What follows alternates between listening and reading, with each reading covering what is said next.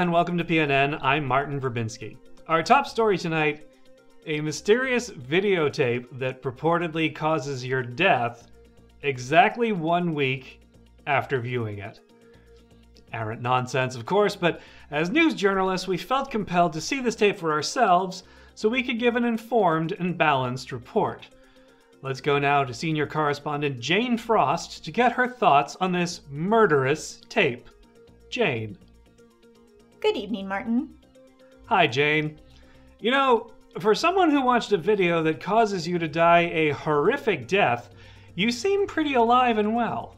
Yes, I watched it more than a week ago and I'm still here, alive and breathing. So, what are your thoughts on the video itself? Um, honestly, it felt like I was watching an art house film. Lots of grainy, black and white shots of weird, random places and things. Quick, jerky cuts. It's a minute and a half of my life I'd like to have back. Understandable. And you feel fine? No supernatural symptoms or occurrences? Nope. Well, Yes. well, when I finished the tape, I got a phone call and a voice said seven days. But I assumed that was just Brian messing with me. Hey, that wasn't me. Although that is really funny. I wish I had done that. Senior correspondent Brian Cox, you watched the video as well. I certainly did. And? I'm gonna have to go ahead and give it two thumbs down. Oh, that's a shame. Yeah, I really wanted to love it, but since it was nothing but, well, nothing, I'm afraid I'm gonna have to give it a hard pass and just pray that no one makes a sequel. And no odd effects after watching it for you either? I did have a nosebleed. Does that count? That might have just been my brain trying to escape from the video.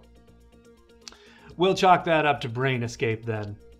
And senior correspondent Rachel Watts, Present.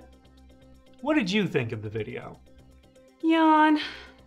The whole time I was watching it, I was thinking of all the TikTok videos I was missing. I hate when things make me miss TikTok videos. So, not a fan either. Nope, sorry. The fly effect was cool though. The fly effect. Yeah, do you remember seeing a housefly on the video? Oh, yeah, I do. Well, I thought it was an actual housefly on the screen, and when I went to grab it, I sort of pulled it through the screen and off the video into the real world, so that was impressive. Huh. Well, with technology the way it is these days, I guess nothing surprises me. But you suffered no ill effects from watching it? Nope. Well, I spent a few days obsessively drawing some of the scenes from it, but I think that was just my form of therapy. I think we all need some therapy after watching it, frankly. Hey, Martin? Senior correspondent Shannon Chase, you were the first of us to watch the video. Feeling okay? Yeah, I'm fine. But I've been doing a little research online about the video. All right. It turns out that the only way to avoid death after watching it is to make a copy and give it to someone else to watch. What?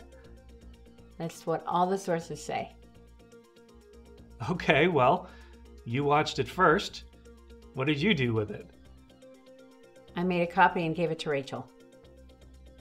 Rachel? What did you do with it? I, I made a copy and gave it to Brian. Brian? I made a copy and gave it to Jane. And Jane? Well, I made a copy and gave it to you. Martin, what did you do with it? Nothing. I just watched it. How long ago?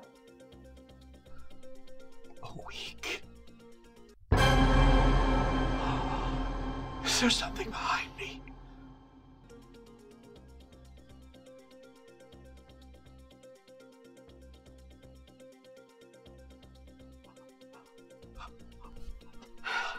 Hey, Jesus Christ, Lenore! What the hell are you doing?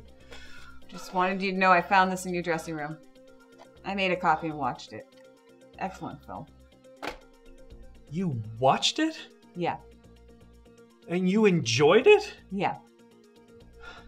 Lenore, If you don't make a copy for someone else to watch, you're going to die horribly in a week's time.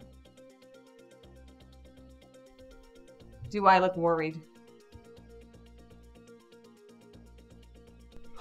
Well, folks, it would seem that all of us here at PNN narrowly avoided a gruesome fate. And now that gruesome fate has to deal with Lenore. My money's on Lenore. Stay tuned, everyone. We'll be right back. You've been watching PNN, the Parody News Network.